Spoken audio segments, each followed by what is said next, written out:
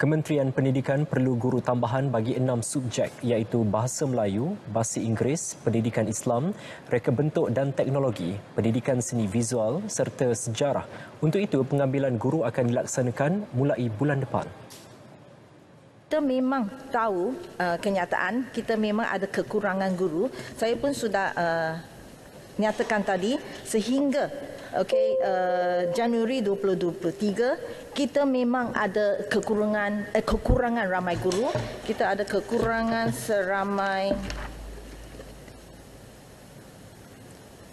kita pengambilan guru uh, bagaimanapun tertakluk kepada kekosongan jawatan dan keperluan option mata pelajaran semasa